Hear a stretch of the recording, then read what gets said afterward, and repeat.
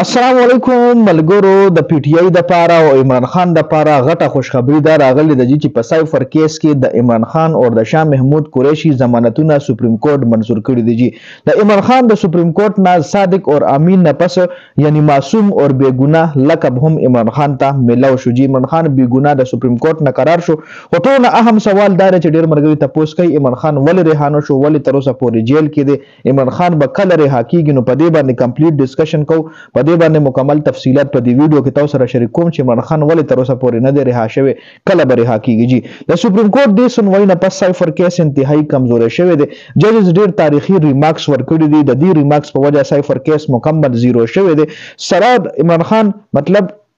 چې کوم ججز نن کومې خبرې کړي په سایفر کیس کې نو دا سایفر کیس بیخي وړګیا شو مطلب سایفر کیس څه ویلي او پاتې نه شوه چې ججز کوم ریمارکس ورکړي په خپله فیصله کې چې کومې خبرې ججز کړي دي جي او بل دې ریمارکس سره دا ججز چې کوم ریمارکس ورکړي دې سره عمران خان ته ډېره غټه فایده ملاویږي دا ټول تفصیلات په دې ویډیو کې تاسو سره ډیسکس کوم ویډیو خپله هم مکمل وګورئ او مخکې ملګرو سره ضرور شریک کړئ ټول نه پهله ایمل خان باندې به خبرې وکړو ایمل خان صاحب پر کیس کې ګرفتارۍ نه پس خصوصي عدالت کې درخواست جمع کړی او د ایمل خان وکیلانو د ایمل خان د ضمانت لپاره خصوصي عدالت د ایمل خان او شاه محمود قریشي ضمانتي درخواست چې کوم دی مسترد کړی او کینسل کړی د هغې نه پس د ایمل خان وکیلان لاړل اسلام آباد های کورټ ته هلته درخواست جمع کړو د ایمل خان د ضمانت لپاره اسلام آباد های کورټ جسټس عامر فاروق هم د ایمل خان دغه ضمانتي درخواست مسترد کړو ختم کو چې مونږ عمران خان له ضمانت نه ورکو سیم په الفاظ کې بل دی یم چې بیخي ضمانتي درخواست یې منلو نه اسلام آباد های کورټ منلو نه چې کوم خصوصي عدالت په اډیالا جیل کې لګیدو هغه هم نه منلو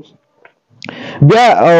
مطلب سپریم کورټ نه علاوه های کورټ په دغه درخواست باندې ډېر انتهایی او خطرناک فیصله هم سنو کړې و په هغه سپریم کورټ هم د حیرانتیا اظهار کړو چې های کورټ ولې دومره انتهایی خطرناک فیصله سناو کا جی بیا د عمران خان وکیلانو په سپریم کورټ کې درخواست جمع کو اور قائم مقام چیف جسټس په سربراهی کې درې رکنی بینچ تیار شو په دغه درخواست باندې سماعت وکړو خو نن چې کوم ریمارکس په دغه سماعت کې په دغه سنوای کې ججز ورکړي دي هغه تاریخي ریمارکس دي جی عمران خان باندې چې کوم الزامات لګیدلی هغه بالکل زیرو شو او د سایفر کیس بیخي سویل یو پاتې نشو جی اصل کې دې کیس نه تقریبا نن په دغه کیس کې تقریبا څلور ګنټه دلایل چې کوم دي د عمران خان وکیلانو ججز ته ورکړي دي جی اهمې خبرې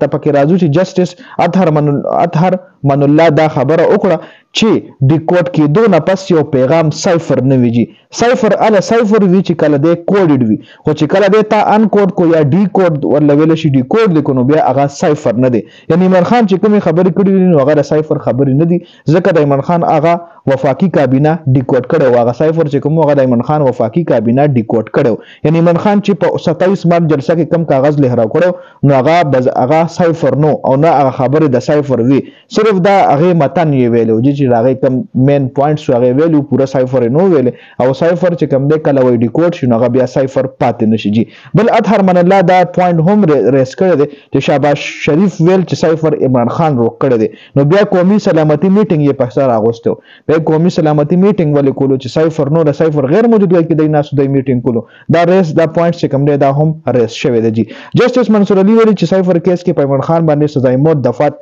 شامل شوي هغه په ظاهر مفروضي دي اور څنګه یو غیر ملکی قوت ته فایده د سایفر نه رسیدلې هیڅ کله هم غیر ملکی قوت ته د سایفر نه فایده نه ده رسیدلې چا ته هم د سایفر نه نه څه نقصان رسیدلی او نه ورته فایده رسیدلی ده نو بیا څنګه په عمران خان باندې دا کیس جوړیږي بیا په عمران خان باندې څومره دومره غټ دفات لګیدلی دی جی عدالت د بنیادی حقوقو محافظ دی او په عمران خان چې کوم جرم لګیدلی دی هغه ثابت نشو او عمران خان بیګناه دی جی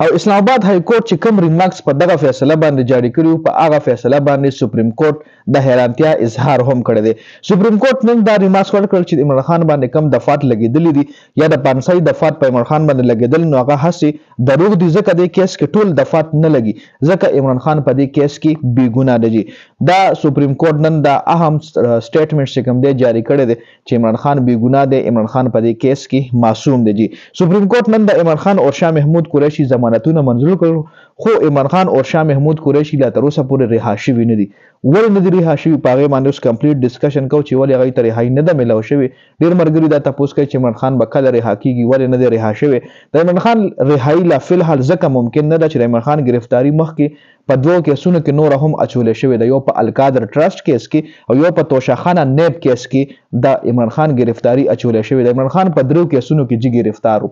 یو سایفر کېس، یو الکادر ټرسټ کېس او یو چې کوم دی توشه خانه نېب کېس. دا درې کېسونو کې عمران خان ګرفتار و، نو په سایفر کېس کې عمران خان ضمانت نن منظور شو، خو دوه کېسونه پاتې دي. القادر ټرسټ کیس اینډ توشاخانه نیب کیس په دې دوو کیسونو کې د عمران خان ګرفتاری الریډي اچول شوی و نو په دغه دوو کیسونو کې اوس عمران خان نشي رها کېدی په دغه دوو کیسونو کې عمران خان ګرفتار دی جی بل شاه محمود قریشي خبره شو نو کېدای شي شاه محمود قریشي سبا یا بل ورځ رها شي ځکه په هغه باندې داسې نور کیسز نشته القادر ټرسټ کیس شو یا په توشاخانه نیب کیس شو نو هغه په شاه محمود قریشي نشته شاه محمود قریشي صرف په دغه دغه کیس کې سایفر کیس کې ګرفتار او سایفر کیس ضمانتونه لړی منظور شونه سبا به ورځ کې کېدې شي شاه محمود قریشي رها شي جی نو په دې ویډیو کې دا اپډیټ شو د ویډیو کتلو زیاته مننه ویډیو مخکې ملګرو سره ضرور شریک کړئ جنید خان افیشل چینل هم سبسکرایب کړئ پیج هم لایک کړئ والسلام